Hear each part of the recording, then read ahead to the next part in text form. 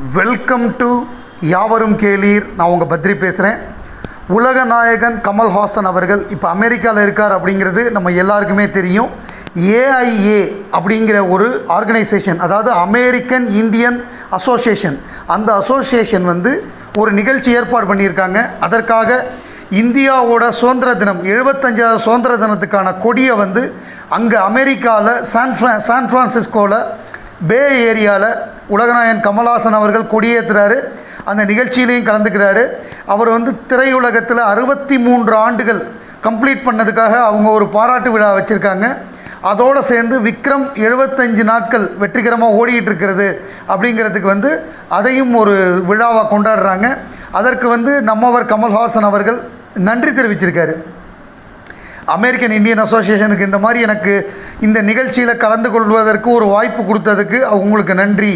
இந்த மாதிரி function AIA அந்த American Indian association sixty three இயர்ஸுக்கு வந்து இந்த விழா எடுக்கிறதுக்கும் அதே மாதிரி எழுபத்தஞ்சு நாட்கள் விக்ரம் திரைப்படம் இந்த விக்ரம் திரைப்படத்தை அமெரிக்காவில் மிகப்பெரிய அளவு வெற்றி பெறச் செய்த அங்கே உள்ள ரசிகர்கள் கிட்டத்தட்ட மூணு மில்லியன் டாலர் வசூல் பண்ணிச்சு. மிகப்பெரிய கலெக்ஷன் ரெக்கார்ட் கலெக்ஷன் அதற்கும் அந்த படத்தை டிஸ்ட்ரிபியூட் பண்ண அந்த ஹம்சத்வனி அவங்களுக்கும் எல்லாருக்குமே நன்றி சொல்லியிருக்காரு.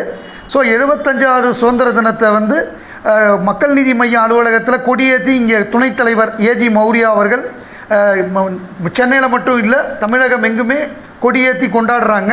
அதே மாதிரி இது வந்து அமெரிக்காவில் வந்து கமல்ஹாசன் அவர்கள் கொடியேற்றுறாரு. இன்றைக்கு தமிழ் சினிமாவில் இருக்கக்கூடிய பெரும்பாலான இயக்குனர்கள் உலகநாயகன் கமல்ஹாசன் ரசிகர்கள் தான் அவர் நடிகராக இருந்தப்ப தீவிர ரசிகராக இருந்தவர்கள் பிற்பாடு இயக்குனர் கமலஹாசனை பார்த்து இயக்குனரான இயக்குனர்கள் அப்படின்னு ரெண்டு பிரிவாக இருக்காங்க. அதில் ஒரு பிரிவை சேர்ந்தவர் மதுரையில் வந்து சிறு வயது முதலே கமல்ஹாசனின் தீவிர ரசிகராக இருந்தவர் அமீர். அமீர் வந்து அவருடைய நண்பர்கள் எல்லாமே கமல் ரசிகர்கள். உதாரணத்துக்கு சொல்லணும் அப்படின்னா நம்முடைய மதுரை அழகர் அமீர் சசிகுமார் இவங்கெல்லாம் பாலா இவங்கெல்லாம் நெருங்கிய நண்பர்கள். அதில் வந்து அமீரும் அழகரும் மிக நெருங்கிய நண்பர்கள். அதை வந்து அழகர் சொல்லியிருக்காரு. நம்முடைய கமலாசன் அர்ப்பணி இயக்கம் மதுரை பொறுப்பா இன்றைக்கி வந்து மக்கள் நீதி மையத்தில் மாவட்ட தலைவராக இருக்கக்கூடிய அழகர் அவர்கள். ஸோ இதில் வந்து நம்ம கரு பழனியப்பன் ஒரு நிகழ்ச்சி நடத்தினார். யாருடைய ரசிகர்கள் ரொம்ப தீவிரமாக இருப்பாங்க அப்படின்னு ஒரு நிகழ்ச்சி நடத்தினார். அதில் எல்லா விதமான ரசிகர்களும் வந்திருந்தாங்க. அதில் வந்து கமல்ஹாசன் ரசிகராக நம்முடைய அமீர் வந்திருந்தார். ஸோ அப்போ வந்து ஒரு நிகழ்ச்சியை வந்து கரு பழனியப்பன் சொல்கிறாரு இயக்குனர் கரு பழனியப்பன் தான் அந்த நிகழ்ச்சியை வந்து ஆங்கர் பண்ணுறவர் அவர் தான் வந்து அந்த நிகழ்ச்சியை வந்து இது பண்ணுறாரு தொகுத்து வழங்குறாரு. ஸோ அவர் இந்த இந்த சம்பவத்தை பற்றி அவர் சொல்கிறார் என்னென்னா இயக்குனர் அமீர் அவர்கள் ஒரு படம் எடுத்துட்டார். பாலாட் அசிஸ்டண்ட்டாக இருந்தார். அவர் வந்து முதல் படம் ஃபுல்லாக ஒர்க் பண்ணார். ரெண்டாவது படத்தில் பாதியில் நந்தா படத்தில் பிரச்சனையாகி படம் 70% பர்சன்ட் முடிச்சுட்டு வெளில போயிட்டார். அதற்கு பிறகு அதே ப்ரொடியூசர்ஸ்ட்டு அவர் கதை சொல்கிறாரு அவங்க ரொம்ப ஹாப்பி மௌனம் பேசியதே சூர்யா வச்சு எடுக்கிறாங்க. படம் பெரிய வெற்றி பெறுது. ரெண்டாவது படம் இப்போ வந்து அமீரோட ரெண்டாவது படம் சொந்த படமாக எடுக்கிறாரு. ராம்ங்கிற படம் தன்னுடைய சொந்த படமாக ரெண்டாவது படத்தை ஆரம்பிக்கிறாரு. ஸோ அப்போ வந்து ஜீவா வந்து அவ்வளோ பெரிய பிஸியான ஹீரோலாம் கிடையாது. படப்பிடிப்பு வந்து கொடைக்கானலில் நடக்குது. ஸோ அவர் வந்து கையில் வந்து பணத்தோடு ஆரம்பிக்கலை.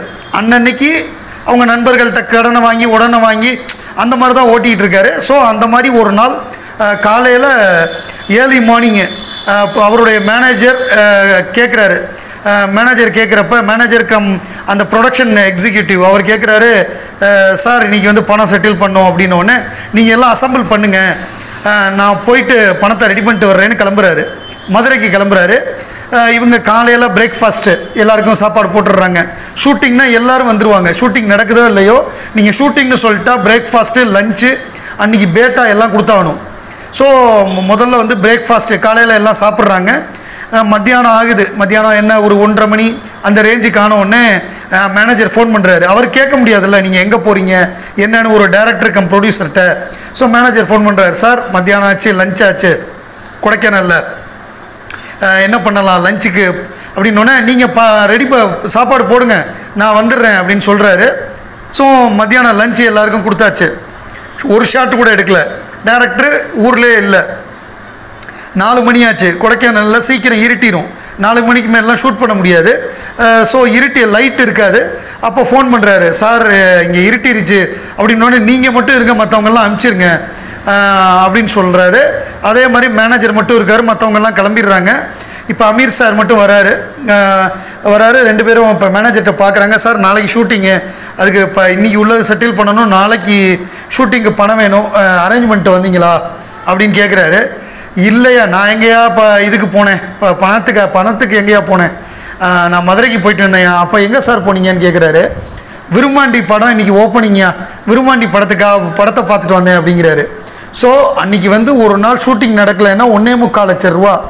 ஒன்றே முக்கால் லட்சம் ரூபா செலவு பண்ணி ஒரு ஓப்பனிங் ஷோவை பார்த்த ஒரு ரசிகர்னால் அது அமீராக தான் இருக்க முடியும். வேறு எந்த ரசிகருமே கமலஹாசன் ரசிகருக்கு ஈக்குவலாக வர முடியாது. இந்த மாதிரி ஒரு ரசிகர். அதுவும் திரையுலகத்துக்கு வந்ததுக்கப்புறம் இதுதான் சினிமா ஃபீல்டு இப்படி தான் இங்கே எல்லாமே நடக்கும் அப்படின்னு தெரிஞ்சதுக்கப்புறம் ஒருத்தர் மேலே உள்ள பிரமிப்பு குறையாமல் தான் இவ்வளோ இவ்வளோ பண நெருக்கடியில் இருந்தாலும் அதெல்லாம் விட்டுட்டு திரையரங்கில் போய் அதுவும் மதுரையில் போய் ஒரு படத்தை பார்த்துட்டு ரிட்டர்ன் போயிருக்கார் அப்படின்னா அவர் எவ்வளவு தீவிரமான ஒரு ரசிகராக இருந்திருப்பார் அப்படிங்கிறது நம்மளால் புரிஞ்சுக்க முடியுது. அதுதான் கமல்ஹாசன் என்ற ஒரு கலைஞனுடைய ஈர்ப்பு. அதாவது நம்மளை வந்து அந்த ஒரு ஒரு கதைக்குள்ளேயே நம்மளை கொண்டு போயிடுவார். அதுதான் அவருடைய சிறப்பு. நம்மளை வந்து எல்லாத்தையும் மறக்கடிச்சு அப்படியே நம்மளை வந்து அந்த க இதுக்குள்ளேயே ஒன்றி போக செஞ்சிருவார். அவருடைய பாத்திரம் அவருடைய நடிப்பு அந்த இதுக்குள்ளே நம்மளை ஒன்றி போக வைத்து விடுவார். அங்கே வந்திருந்த மற்ற ரசிகர்கள்லாம் மிரண்டுட்டாங்க. என்னடா கமல் ரசிகர்னா இப்படி இருக்காங்க. வெறித்தனமாக இருக்காங்க. ஒன்றே முக்கால் லட்சம் ரூபா செலவு பண்ணி ஒரு ஷோ பார்த்துருக்காரு அப்படிங்கிற மாதிரி. அதாவது அதோட பொருள் என்னென்னா ஒன்றே முக்கால் லட்சம் கொடுத்து டிக்கெட் எடுத்தாருன்னு அர்த்தம் கிடையாது. ஒன்றே முக்கால் லட்சம் ரூபா அவருக்கு லாஸ் ஆனால் கூட அந்த படத்தை போய் பார்க்கணும் அப்படின்னு அந்த பார்த்துருக்காருல்ல. அதுதான். அதுதான் அந்த இடத்துல விஷயம். ஸோ அதுதான் அமீருடைய ஒரு வெறித்தனமான ஒரு கமல் ரசிகத்தன்மை. அதை வந்து அது காமிக்குது. நமக்கு இந்த மாதிரி தருணங்களில் தான் உலகநாயகன் நம்மவர் அவர்கள் வேட்டையாடு விளையாடில் பேசின அந்த வசனம் நமக்கு வரும். ஒரு பெருமிதத்தோட கமல் ரசிகர்னா யாருன்னு தெரியுமாடா? சின்ன பசங்களா? யாருக்கிட்ட? அப்படிங்கிற ஒரு அந்த டயலாக் வரும் நமக்கு.